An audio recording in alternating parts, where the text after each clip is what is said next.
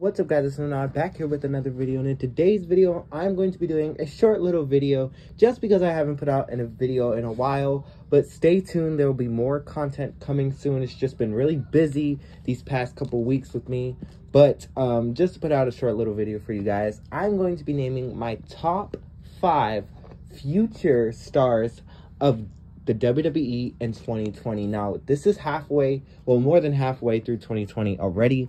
And there has been people that have opened my eyes to them. They have really impressed me. Um, so I want to say who I think is going to be even more of a star um, by the end of 2022. So this is in no particular order, but at number five, we have Shotzi.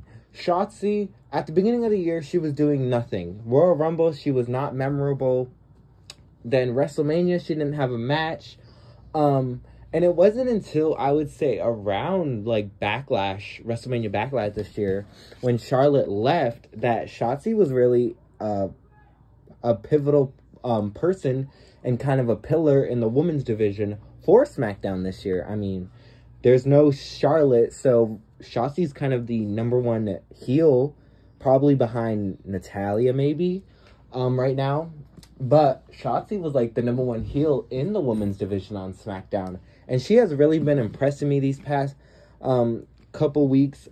I know she's been an amazing talent on NXT, but when she just got to the main roster, I thought it was she was just gonna get released and she was just gonna fall into the background. But um, yeah, ever since that feud with Aliyah and stuff, she has just been killing it week after week, and I'm so excited to see her in the Money in the Bank ladder match, and she is one of my favorites to win. Um, next up, we have Tony D'Angelo. Now, this is going to be a mix. I should have said this, but this is going to be a mixed reign. It's not just main roster or um, NXT, but Tony D'Angelo has been really impressing me. The beginning of the year, I started kind of liking Tony D'Angelo, and um, I know he's not the best in the ring. I would say he's not the best in the ring. He's he's a good wrestler, but he is just his character. He has so much charisma. I feel like, um, and he is just. I feel like he's got that it factor with him that he might not be the best in the ring, but he just has so much personality and it can go it could lead him to a far way. I mean um far into um WWE and NXT. Hopefully they don't ruin him if he gets to the main roster, but I see him as a big star and possibly maybe North American champion later this year. Just a prediction there. Um, keeping on the topic of NXT 2.0, we have Tiffany Stratton. Now, Tiffany, she is become one of my favorites on um, NXT in the women's division. Um, she's probably second right now behind Cora Jade. Um, but she is just an amazing, amazing talent. She reminds me not exactly like Bianca Belair, but she reminds me of her like it factor. Um, like Bianca Belair. Like Bianca Belair just took it and ran with it, and she was so good, improving every single time similar to what Tiffany is doing right now. So I could see her possibly as a future star. Well, not even possibly. She is going to be a future star in the WWE. And she can just be improving, improving, improving. Um, she ha- she hasn't really had a major push or like a major storyline with anybody. But now that she's with Wendy, um, I mean, feuding with Wendy Choo, um, possibly, hopefully, we could see her start feuding with like bigger names like Alba Fyre or Cora or maybe even um, turn face and challenge Mandy for the title. I mean, there's so much stuff they could do with her, and I'm excited to look into the future and see what she can do. Next up, now these ones were hard to pick, not gonna lie, um, because I think those three are are my favorites but I try to look at the bigger picture and try to see like who I think could is just missing a little something. Um so these next two, they're kind of picks that I don't think are big stars right now, but are going to be in the future. And that first person, it might come to a shock for you guys, but I think that Mustafa Ali is going to be a star in the future. Now, Mustafa, I know he had those issues um at the beginning of the year wanting to get released, or was it late last year? I think it was.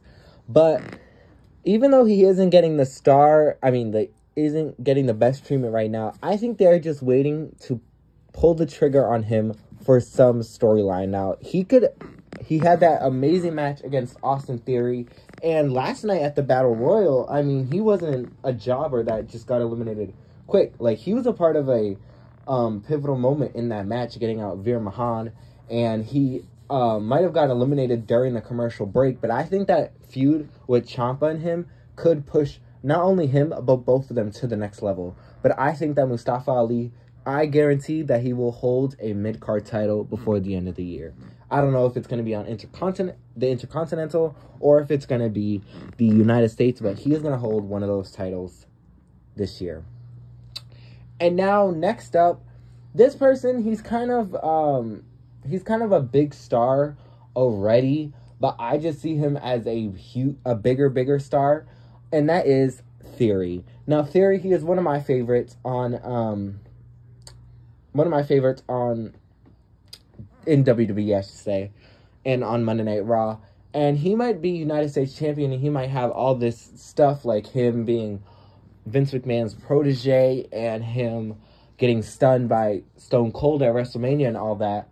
I honestly think that he will be a challenger for the. I don't know if it will just be the regular WWE title or the Universal or the Undisputed, whatever, but he will be a challenger by the end of this year for one of those world titles. He will have a world title match by the end of the year, and I'm calling it right now. So those are my just people that I think are going to be big stars in the future. Um, so leave your opinions down in the comment section below and leave who you think is going to be a big star in the future here in the WWE. But like, comment, and subscribe, and I'll see you guys in the next one. Bye, champs.